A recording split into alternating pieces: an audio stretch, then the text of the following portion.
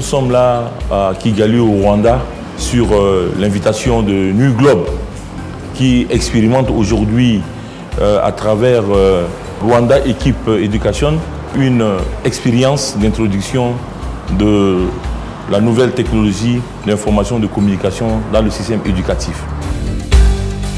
Nous nous sommes rendus dans les écoles où nous avons vu l'expérience aujourd'hui dans l'école rwandaise c'est une expérience qui tient à la réalité parce qu'aujourd'hui, dans le monde entier, l'éducation fait euh, face à une crise d'apprentissage.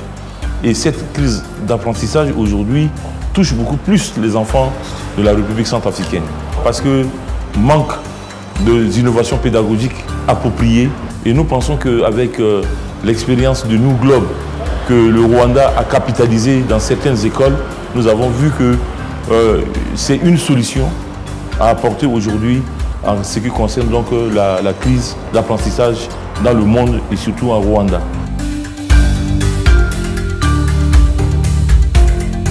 Ce que nous avons tiré comme leçon de cette euh, expérience rwandaise dans le domaine de l'éducation vient à point nommé de comment transmettre les connaissances transmettre les connaissances, mais à travers quelle méthode, quel outil nous allons utiliser pour le faire.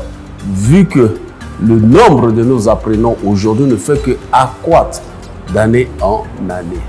La grande leçon que nous avons tirée, mais bien entendu, il peut en avoir d'autres encore, c'est d'abord le renforcement des capacités hein, des, des enseignants qui sont censés ou encore qui ont été déjà identifiés pour transmettre euh, la connaissance. Il faut renforcer euh, les compétences des enseignants parce que c'est ceux-là qui sont chargés de mettre en place la technique et la méthode d'enseignement.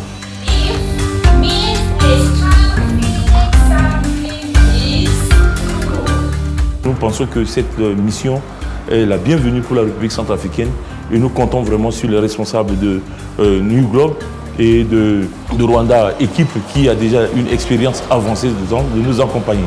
Et comme venait de dire son Excellence, Monsieur le ministre chargé de l'Éducation nationale qui accompagne cette mission, nous allons définir donc les prochaines étapes. Qu'est-ce que nous devons faire à sortir des étapes et que les plus hautes autorités des pays puissent nous accompagner dans l'implémentation de ce projet en République centrafricaine pour le développement de notre pays et à travers la transformation du système éducatif de la République centrafricaine.